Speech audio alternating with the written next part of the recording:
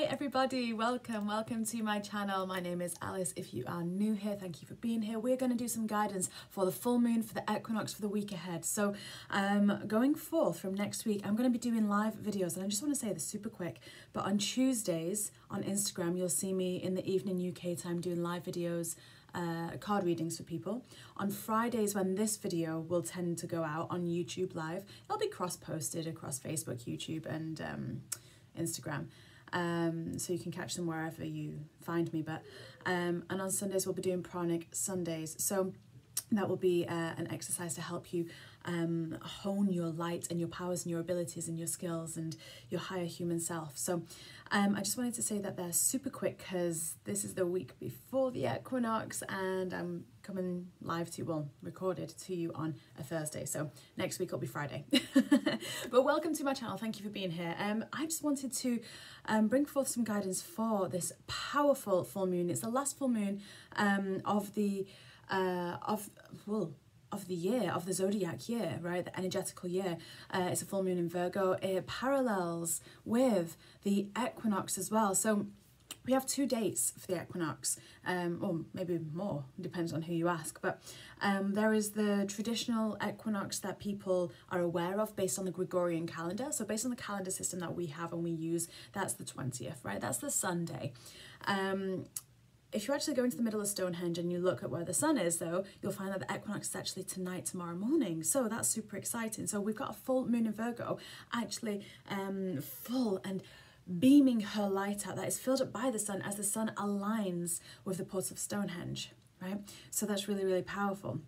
Um, I've drawn some cards here that I'm going to be sharing with you and if you stay to the end I'm going to draw a card uh, for each the earth, air, fire and water signs so that you um, have some slightly more specific guidance than this uh, general guidance will bring but I hope it resonates and if it does please feel welcome to like, share, subscribe and uh, comment because I do love reading your comments. So first and foremost, wow the full moon, okay people have been feeling it. I've been I've been getting asked questions um, about um, you know, am I feeling the ascension symptoms? Am I feeling the grogginess, the tiredness, the weariness? Um, yes, I am. But I probably respond to it in a slightly different way to most people that are asking those questions, right? So, um, the whole purpose of, you know, us being, we are energetic beings, we are light, right? But the physical form of me that you see, the physical form of you that you see, that is light that has been condensed, that you have drawn in all this light molecules, the sound, the light, the love, the everything to make up your physical form, right? To make up your physical form. So we've got multiple layers of our body. You know, we've got the mind body, the emotional body, the mental body. Oh, no, wait, that is the mind body. Astral body, physical body. We've got our soul, we've got our higher self, right? We've got all these different layers, and that's just a very, um, you've got the layers represent kind of a different dilutation is that a word? I'm to make it a word if it's not. Um, a different condensation, collection of energy, like how, um, how much light you've brought in to be compact within, right? So the mind body is formed of beliefs and patterns, energetical patterns that we have created, absorbed, um, and practiced over time. Right? Our emotional body shows us whether we are in alignment with our highest self with our true nature or whether we are um, acting from fear or believing something from a place of lack or um, or there is a gap right? So the, the emotions show us where there is a gap between how we are embodying ourselves and where our truth our higher self is. So if we're feeling kind of low a bit funky depressed anxious you know various things we could go into detail as to you know where that belief might be located but what that is showing you is that there is a gap between what your actual truth is and how you are embodying yourself right now. And the same goes for when we get triggered or we get a bit annoyed by someone or um, you know, if someone really rubs us up the wrong way and, you know, we feel really strongly about something in a very negative way, they are showing us our truth. They are embodying our truth and we are seeing something from a perception that isn't what we know to be true in our hearts and our higher self, that part of us that is source. We are source energy, God energy, right? Um, and that part of you might not believe that. So that's how we get the lower energy and the, and the lower thought patterns and frustration, things like that. It's important to start off this video with that information because Because the full moon, and as one of my friends describes it so eloquently and beautifully, the full moon, when we can see her in the sky, the sun is beaming his light, his illumination. He's filling her with his light. And she's becoming pregnant and full and vibrant. Right? My friend Melissa, she she she articulates this so beautifully, you know, and um, please do watch her videos because she's got such a gorgeous way of, of speaking and sharing and connecting with people. But this analogy came from her, and oh, that's where I first heard it. And what happens then is that light reflects back down. So not only are we getting that light from the sun from one side, the moon from the other side, but that's like the mental, the physical body, the emotional body, the spiritual body. All lights are on us, right? So we feel more. We notice more our emotions. We can't hide from them. The spotlight's on them, right? And then obviously depending on where the sun is transiting and where the moon is transiting, we'll add a different layer. Now the moon is in Virgo right now. So there is a lot of um, you know, self worth things coming up, you know, how are we looking after ourselves, how are we taking care of ourselves, where are our beliefs about victimization, right? Where are our beliefs about sovereignty versus victimization? Who holds the power? Who hold and power in the in the in the most beautiful sense, not power is in control, but power is in will, determination, focus, and uh, and love. Right? Where is that? Um, and the sun is still in Pisces, only for a little while longer and Pisces, you know, that watery sign, they um, they have that fluidity between you know the the duality of this world the polarity of the world right you know they can find themselves um edging into you know both kind of like swinging the pendulum from one side to another you know and especially when it comes to the spiritual realms you know a lot of um guidance and spirituality um I'm trying to get my words out here, but I'm struggling with words today a little bit. Maybe that's an ascension symptom. um, but a lot of information comes through on the astral realms in dream world um, in your awake time in how the world is relating to you number sequences animals animal medicine animal magic right? Um, you know what you're seeing and you know pisces tends to notice that a little bit more you know? Um, and then we have the equinox where there's equal day and equal night. So there's this emphasis on harmony and balance. So you are going to be experiencing right what you personally need to in order to view and perceive and experience whatever is out of balance, right? So when we're experiencing fatigue, for example, weariness, you know, we're being invited by ourselves because it's only us that are inviting these feelings in, that are we're, we're calling forth ascension within ourselves. We're calling forth all of our highest desires, right? You know, the love, the abundance, the the freedom, the joy, the movement, the the luxury of of being, the sensuality of being. We're calling that forth, right? Collectively and individually, which is why we're going through such an interesting time, right? Because we as humans, we don't need the contrast, but we usually prefer the contrast right so we you know we can choose to expand through um through being very aware and very present but most people aren't there because we've forgotten. We've forgotten how to be there and how to do that. So we choose to see contrast instead. We choose to create uh, unconsciously, right? So when I say that, you know, we're not consciously going, I really want to create a really difficult situation because that's just going to help my soul grow. We don't say that. We don't know that, but that's what we're doing, right? That's what we're doing. We're calling ourselves out, right? We're calling ourselves out. So when we experience ascension symptoms, yes, we are going through an upgrade, and yes, we must embody rest. But those that have been working with their divine feminine energy more will be more accustomed to feeling and noticing how we are and then acting accordingly and responding to that in love and compassion of self, right? So, what that means is that if someone who has been working maybe a little bit more um, with their divine feminine um, energies and intuition and, and all of that and practicing um, that will find a little bit more ease and grace, perhaps, not always, but perhaps, right? Because they're used to uh, connecting um, and feeling um, and responding to that, oh, I'm tired, oh, I need to rest, and actually stopping and, and resting, right? Because there is harmony and balance in masculine energy and feminine energy. We need both to be in balance, right?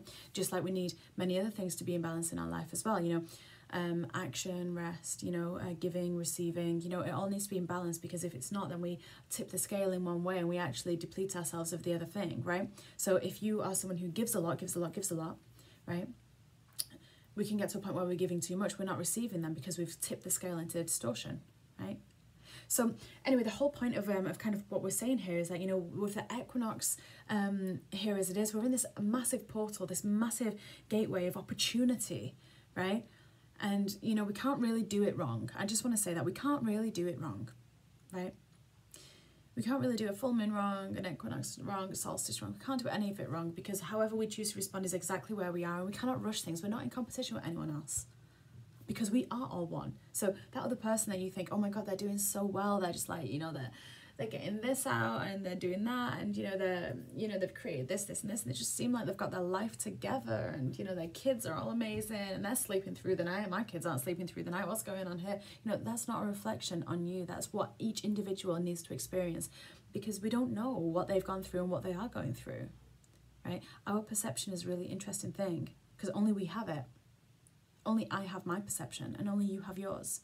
So you'll never see completely eye to eye with another, but we can have a lot of fun in hearing and interpreting and sharing with one another. Right? So for this week ahead and for right now, if you're feeling like you need to rest, rest. If you're feeling like you have a lot of charge within you and you just feel like a bit, ooh, you know, discharge some of that energy, get outside move your body, release it in that way. Be creative, cook, create, do something. I want to go straight into the cards that I've uh, that I've drawn here, but I do just want to say I still have 20% off on everything on my website. If you are called to working with me one-to-one for any guidance, any support to connect with your teams of light, any quantum healing, right? Deep soul healing through different timelines, past life regression, priestess initiation, right? Womb awakening. Now's the time to book before Sunday because the prices go back to regular on um, on Sunday. So just wanted to say that. Uh, you can find all those at aliceheath.com as well. So um, I'm going to draw these cards, or I'm going to show you because I've already I drew them just before um, I recorded this video. So from the wonderful Nighttime Dreamtime deck. Such an apt card, isn't it? The first card that came out, Gateway, because that's where we're at. We are at a gateway, a portal where you can manifest what you actually desire. And the way that we actually do that is we just let it come to us. People think manifestation is a very active approach where we have to go get something. That's not manifestation, that's forcing something, that's that's effort. True manifestation, you let it just come to you. You just you practice the releasing of the resistance, right? So let it come to you. Let this time come to you. This energy come to you. You know, and when you do that, treasures await you in your dreams. What you've been what have you been dreaming about? What have you been daydreaming about, right? Sorry, I realised I was very close to the camera then. What have you been daydreaming about? Have you been working with uh, different animals. Like, have you been working with the dolphins? Gosh, they bring so much joy. They're like the unicorns of the sea. That's what I say personally, but you know, because of how light filled they are treasures await you in your dreams because that's where we need to be to actually bring it in is focusing on that. Where are we focusing our energy? Right? Are we putting energy into past things that have happened that have been difficult that we still find difficult? Are we still looking at them going oh my gosh that was so hard. I really didn't like that. This person's really done me wrong because if we do, guess what? We're creating that again and again and again and again, and that's going to come up in different people in different places, different times, different experiences again and again and again and again. What we want to do is we want to focus on the joy, the creation, the painting, the art, the singing, the dancing, the things that lift your heart up. And watch a comedy. You know, watch someone funny on telly if you need to. If you're if you're at that place where you can't get to where you can't get to the singing and the dancing at this point, that's okay. Do something, do little steps. You don't have to jump from like. You don't have to do a massive jump. Just like increase your mood bit by bit until you get to where you want to be. Right? That could be having your favorite drink. That could be having, like, you might really enjoy Starbucks, right? And you might go and get your favorite drink and it might just really make you happy. There are others that might say that it's not as healthy or it's this, this, and this. That doesn't matter.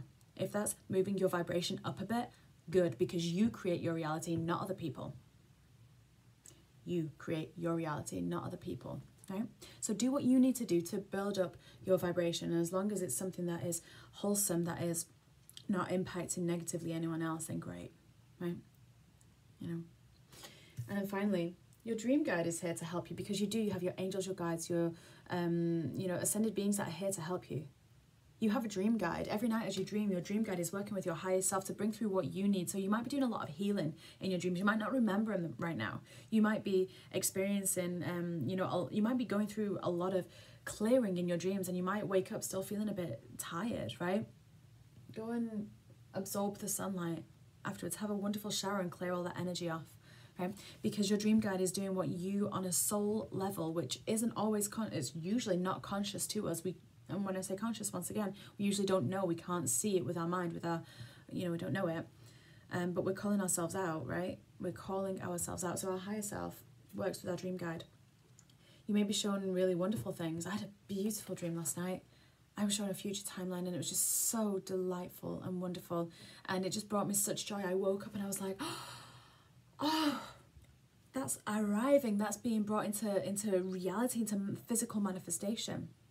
But a couple of nights earlier, oh my gosh, I was doing a lot of deep soul work. I was clearing on all levels and I woke up and I was like, wow, I feel angry still. Okay, I need to do something here to to just sort myself out before I greet the world. I don't wanna I don't wanna interact with another and, and then feel that, right? You know? So I'm taking due diligence for myself, my own energy.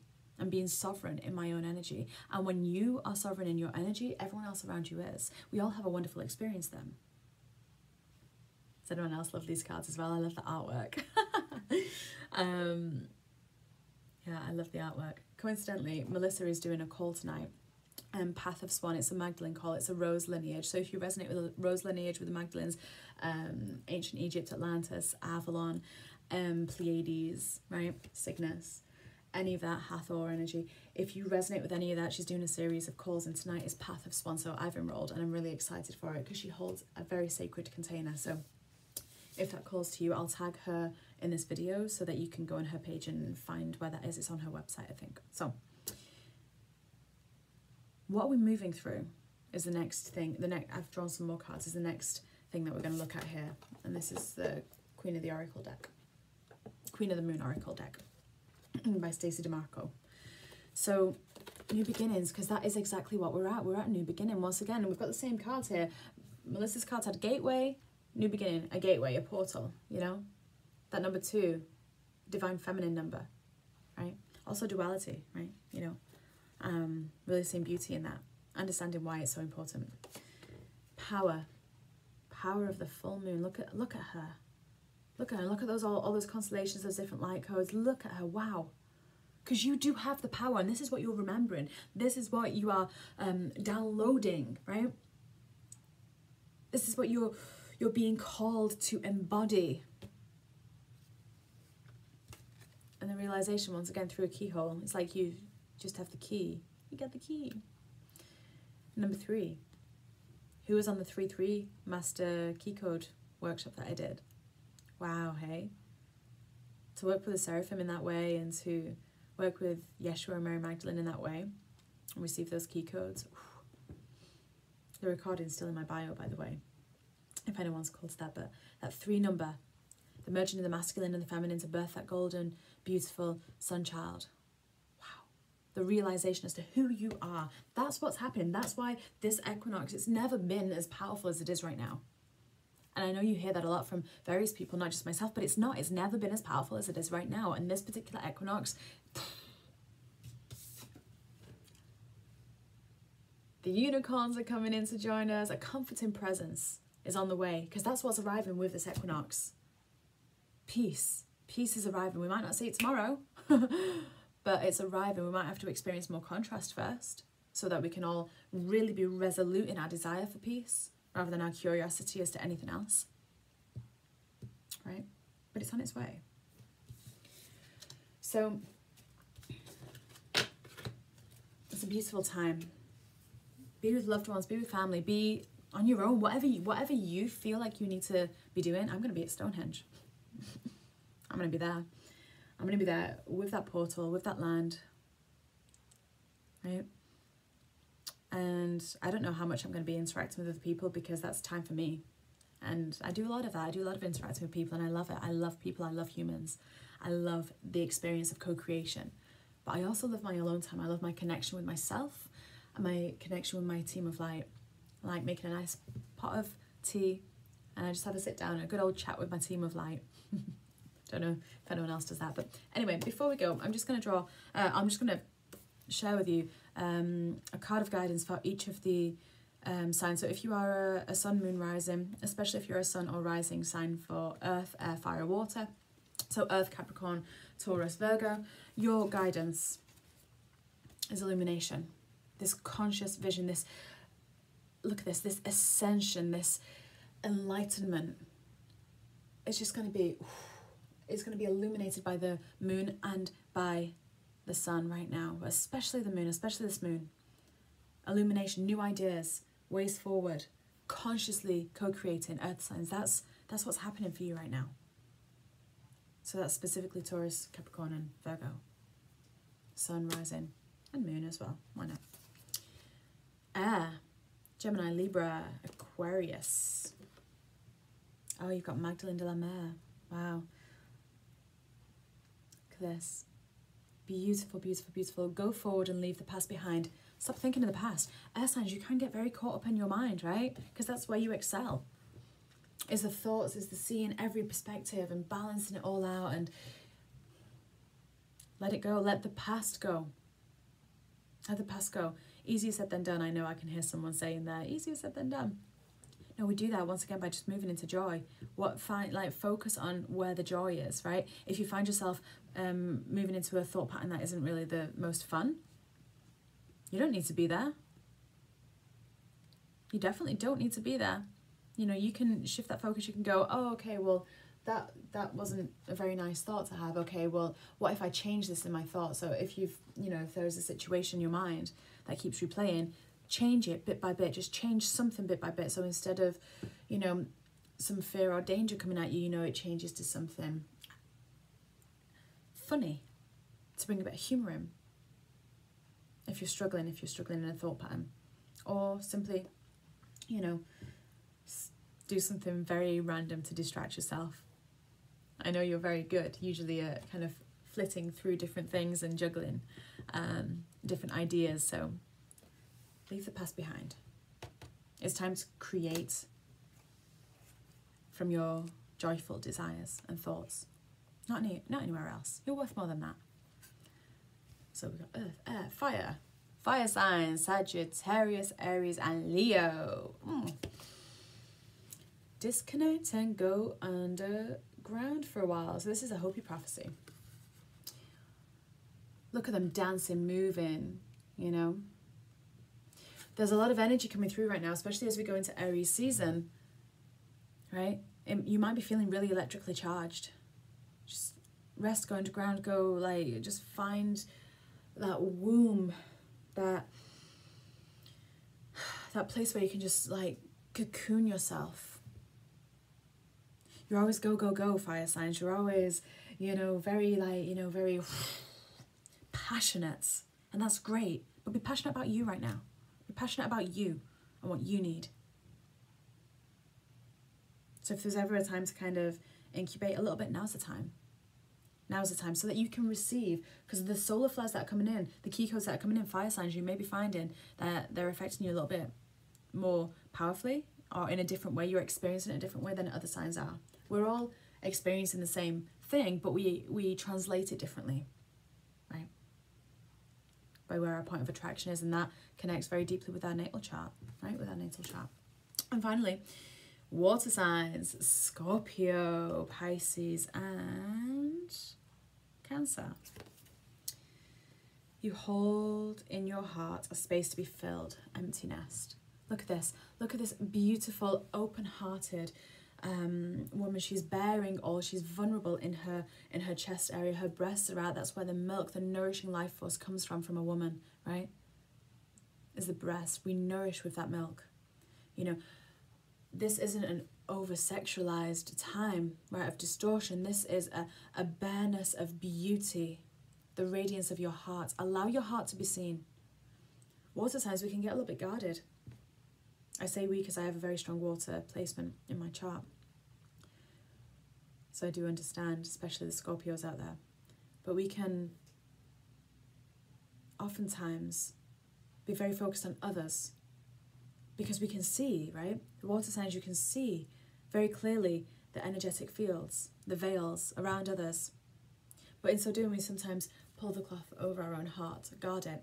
Now is the time to open your heart space and let your chalice be filled. That's your focus, water sign. So, Cancer, let that shell, like that shell that protects you, don't hunch it over, let it open. Pisces, you see it all, but let it open. Scorpio, you can go easily down into the depths, the deep, deep depths of the shadows. And that's okay, but bring the light down there and open your own heart. So, beautiful beings of light, thank you so much for joining me. If this resonates, do share it with people. You know, invite people to the channel. I love meeting new people. And like I say, if you do want to get the most of that 20% off, that's until Sunday, visit my website, aliceheath.com. But in the meantime, I send you all so much love, so many blessings. And that last deck of cards as well, sorry, was Art Through the Starstream Oracle by Cheryl Yambrach Rose. So much love. Bye for now and happy full moon, happy equinox. I'll see you on Sunday for some sun gazing.